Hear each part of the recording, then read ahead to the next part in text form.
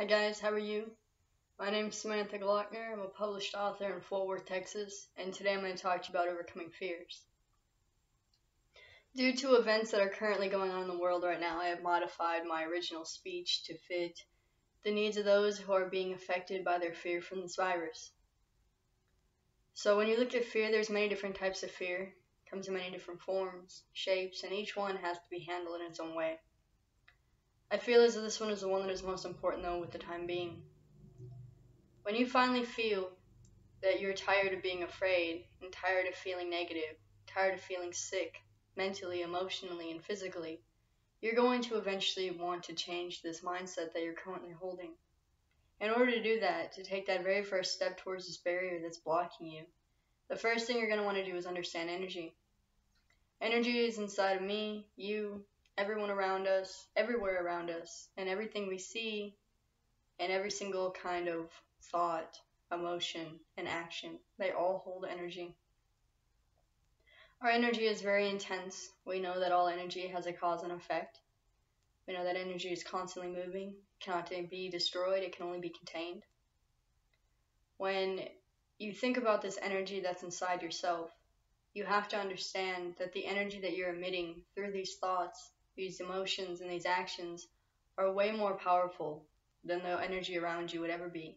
So you're able to manipulate it and construct the energy to follow whatever it is that you're feeling, thinking, or doing at the time.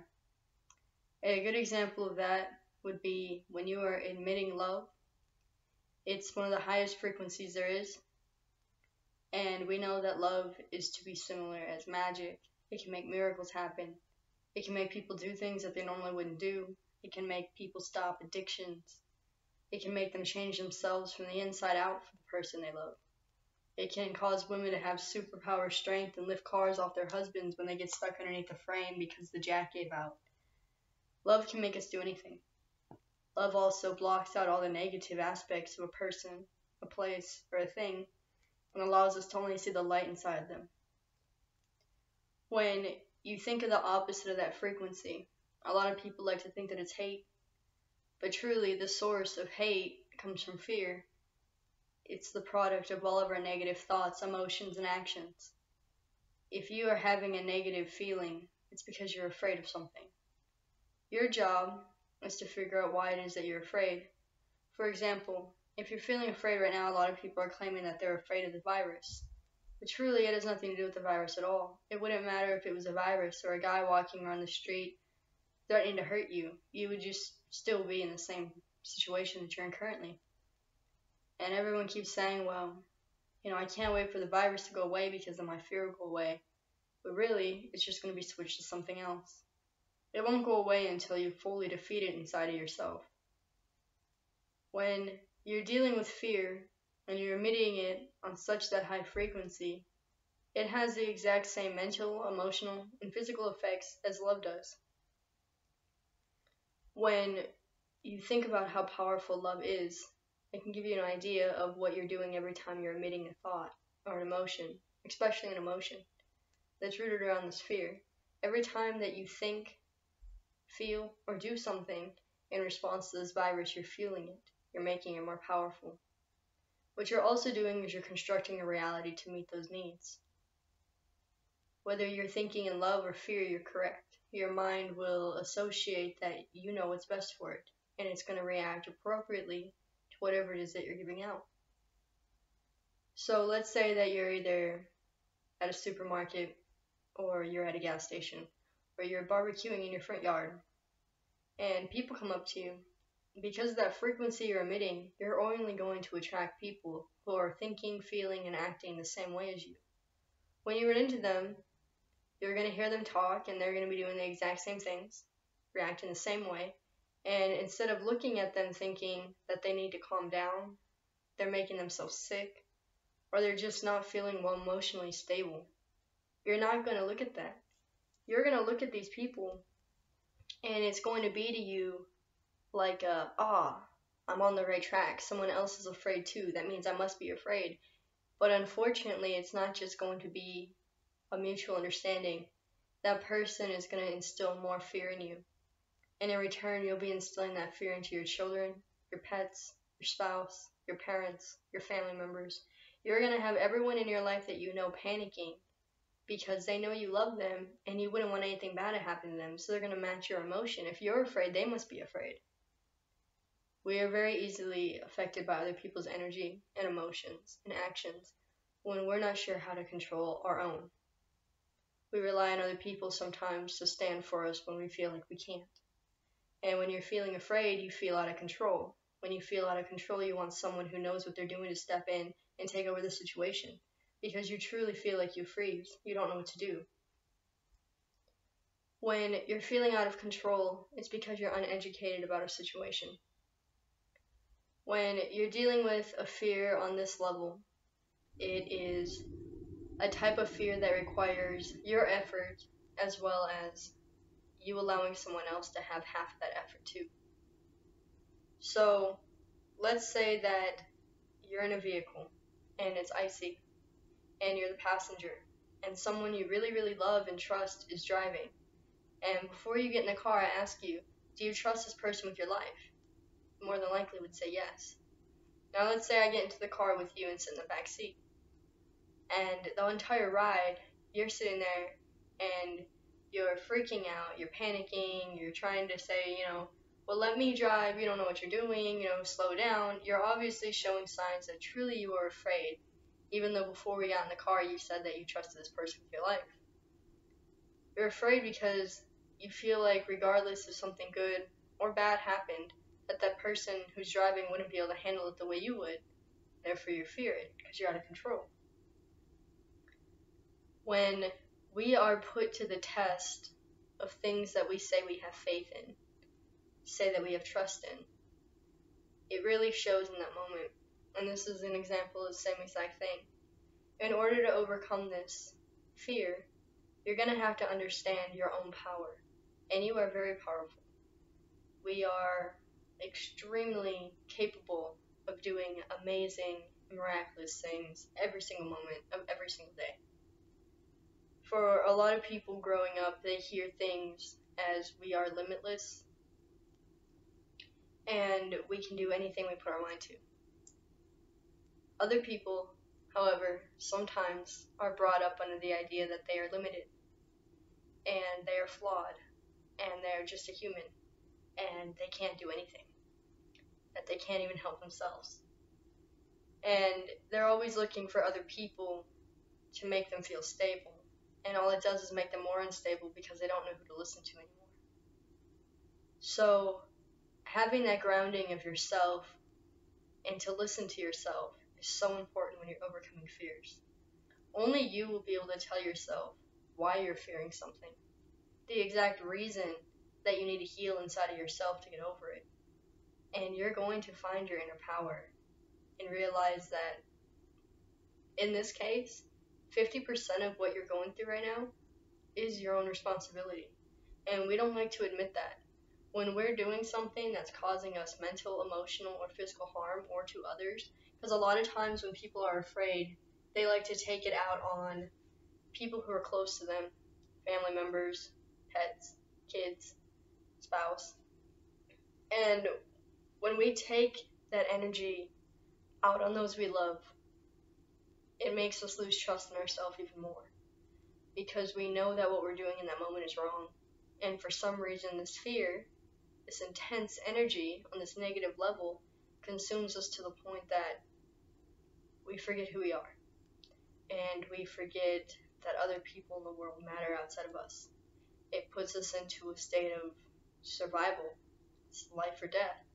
And unfortunately, when we're dealing with fear, we have this weird concept that if we survive whatever is trying to get to us right this minute, it's like we won life. And that's not true. If it's not this coronavirus, there's going to be something else that you're just as fearful of. You're not afraid of the virus. You're afraid of transitioning from this life into what's next. And until you do your part and you feel comfortable with knowing what you can do to prevent that from happening, you're not going to be able to get through this properly. And I don't want to see that. I don't want to see anyone struggling right now. I don't want to see anyone mentally or emotionally unstable. I don't want to see anyone running to the stores trying to buy the last supplies. I don't want to walk into a store and see another elderly lady looking at the shelves and she's not able to find anything to eat. That's very sad. And when you realize this power in yourself, you're going to care more about others. That is part of your 50%. So when you're looking at this situation and you ask yourself, well, what can I do? Well, right now, you can practice good hygiene. I'm not telling you to go around people who are sick or ill. Stay away from them. Keep your family away from people who are showing symptoms of being sick. But make sure that you're checking in on the people that you do know in your life. That outside this virus you do care about a lot. If you know anyone who is older and they might not be able to get to the store to get supplies, go get them and drop them off on their porch. That's something you can do. That is emitting love. That is raising your vibration that's going to be great for you. That is part of your part, is making sure that others are okay. Make sure that you're filling your time from the minute you wake up to the minute you go to bed with things that are positive, healthy. They'll either help your self improvement or they'll help others grow. If you find yourself always telling people when they ask you, why did you never write the book you always talk about? And you say, well, I don't have time. Well, right now, for the next, we don't know how long.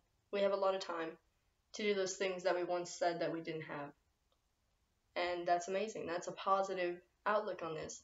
We can take this time to heal ourselves, to heal our pets, to heal our friends and our family. We can do a lot of things, a lot of positive things. And right now, your part is to hold yourself in a positive vibration.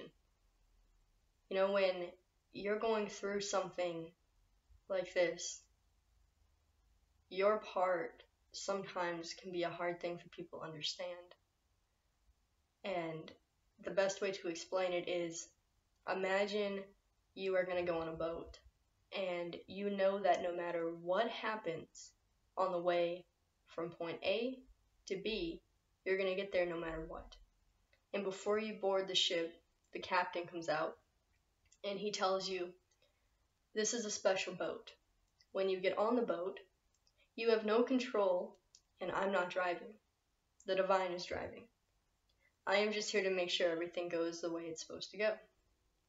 He's your guide, your angel, if you will. And when you're on this ship, your emotions, your thoughts, and your actions, whether you frequent love or you release fear, it will change the water to match that frequency. So let's say that you get on the boat and you try emitting love and you enjoy every single moment. No matter what happens, no matter if it gets delayed, no matter if something breaks on the ship, it doesn't matter what goes on around this journey. You know, because you have faith, that you're going to make it from A to B one way or another. So you remain calm, you remain happy. In return, the water remains calm and happy. And you have a smooth sail all the way from A to B. And you get off the port at B and you look at the captain and say, That wasn't so bad. And he say, No, it wasn't. But let's say you go back and instead of emitting love, you decide to emit fear. And every thought, action, and emotion that you're releasing the whole entire trip is negative. Well, that water is going to start thrashing around. It's going to get crazy mucky. You're not going to be able to see anything. And it's going to start messing with the, you know, the path of the boat. And the more that you fear that, because now you're seeing the results of your fear coming to life in front of you, you're starting to understand, materialistically building in front of you, how intense your fear really is and what it's capable of doing it's not going to necessarily make you stop. It's going to make you fear more. Because now, instead of just being afraid of being out of control of the ship or what's going to happen based off your thoughts, fearing yourself there, now you're fearing this water that's getting worse and worse and worse every single second. Pretty soon, that water's going to get into the boat and it's going to sink it. but you still have to get from A to B. So you're going to have to swim. And now you're even more afraid. Now the water's horrible. You lost your boat.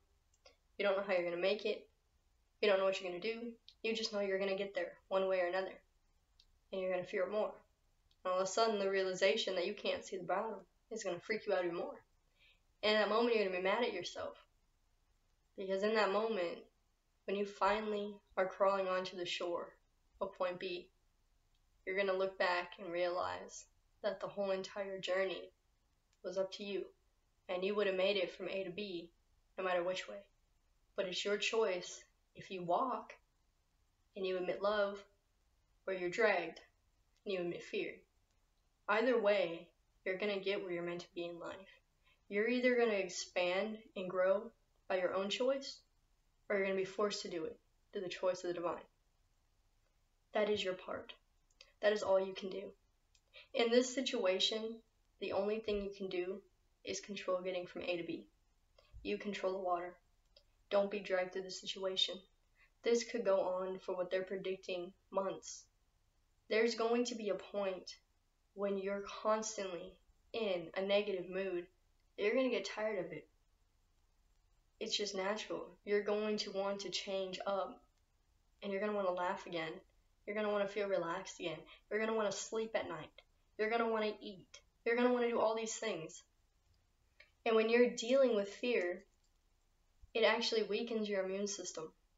So every time you are doing something right now in the face of fear and you are acting on that emotion, you are actually making yourself more likely able to get this virus that you fear so much of getting.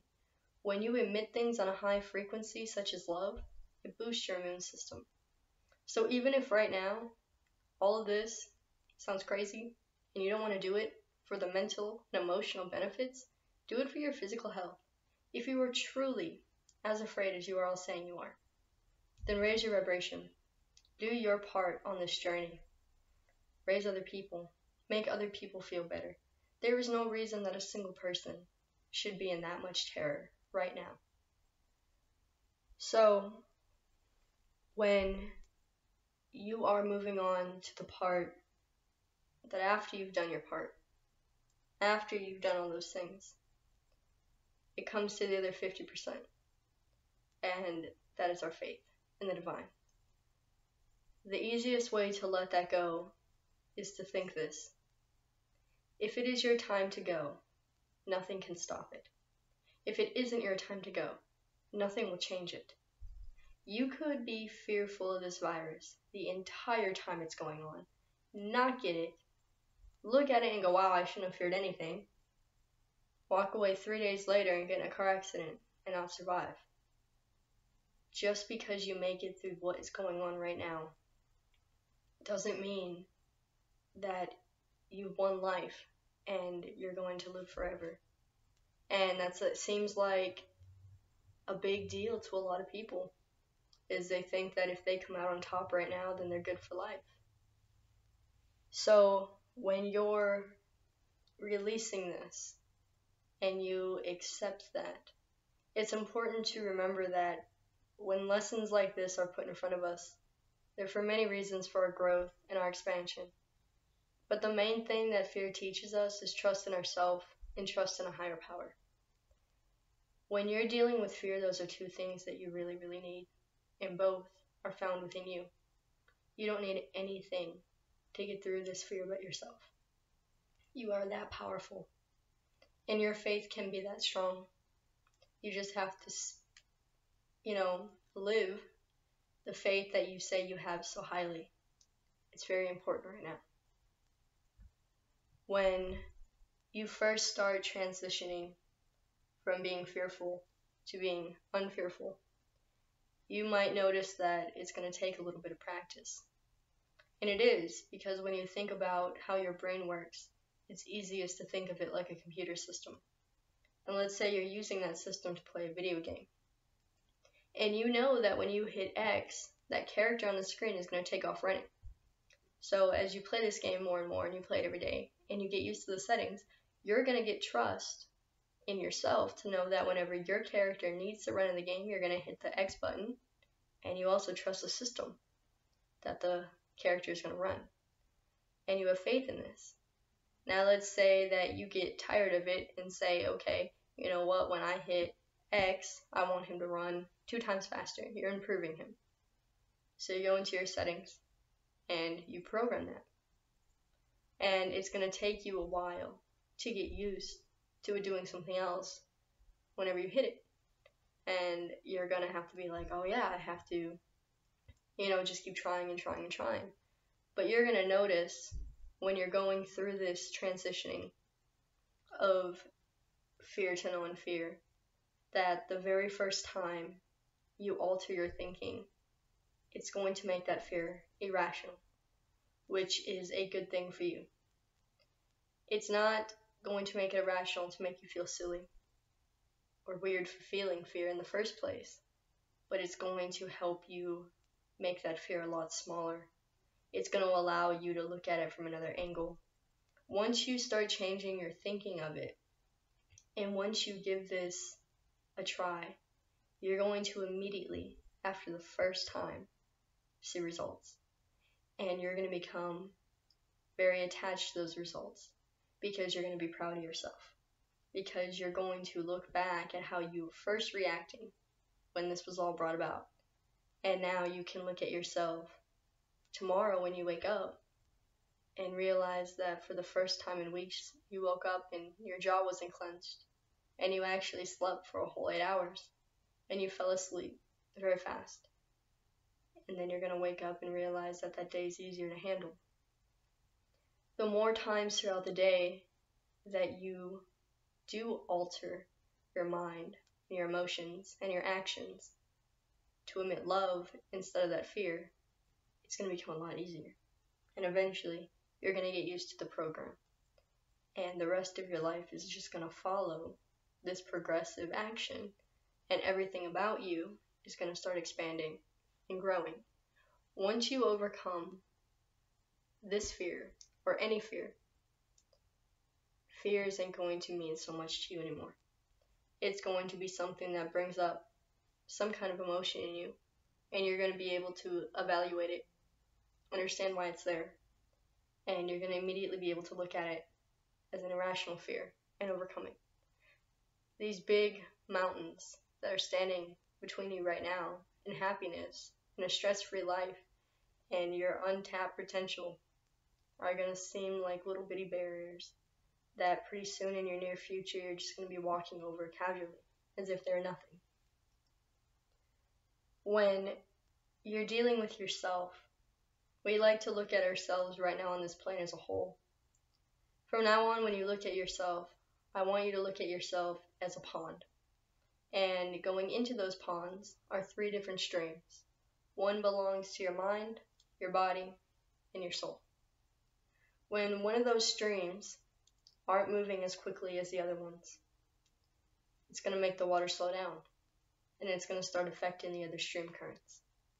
Eventually, that water's going to still and it's going to get stagnant and no one's going to want to be around it. It's contaminated, it's dirty, it's filthy, and it will only cleanse itself when the water starts flowing again. That's exactly how the energy inside of you works. When the energy is constantly progressing, constantly going, and it doesn't stay stagnant from negativity, negative emotions, negative actions, it's going to just filter it all out yeah, it might take a minute. It's not going to happen overnight. But you're going to see progress every single day, just like that pond would, just like those streams would.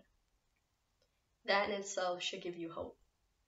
We can look at nature for a lot of things to teach us about ourselves. It's everywhere. There is guidance everywhere. Always make sure that you see it. As for this virus, this is the year that the world had to take a break. We can learn many things from fear about this event that's going on. I mean, you know, there's so many things that people are afraid of right now. There's so many different things that are going on right now for everyone. Everyone's experiencing something different. And when you look at fear from that standpoint, it makes you feel differently about the people who are being affected by what's going on. You'll start looking at it from a selfless point of view and not everything's going to be about you anymore. And you're going to want to bring other people peace, and I hope you can. The things that we thought we feared before this, things such as separation, racism, homophobia, religion separation, whatever it may be, there's always something going on, always someone against someone. Those things right now, they just don't seem to really matter so much because everyone's fear of those things has now been replaced with this ginormous fear that seems to overtake everything else in your life. And that alone should show you how silly fear is. Silly enough that the minute that something better comes along, your focus changes to that, which means you never really cared about the first problem to begin with. This situation has caused a lot of chaos and a lot of pain mentally, emotionally, and physically to a lot of people. But that doesn't mean that we have to remain that way. The way that we walked into this event, this virus, does not mean that it has to be the way that we walk out. We could walk out of this and take this time and use it to better ourselves in so many ways. I hope that you guys do take the chance into expanding, overcoming, growing, learning, sharing, and loving. I hope that through this it does a lot of changes. And I hope that none of you ever have to live another day of your life affected by a fear such as this. Nobody deserves that. We all deserve peace. That's the only way that we will ever give peace to someone else. Thank you for your time.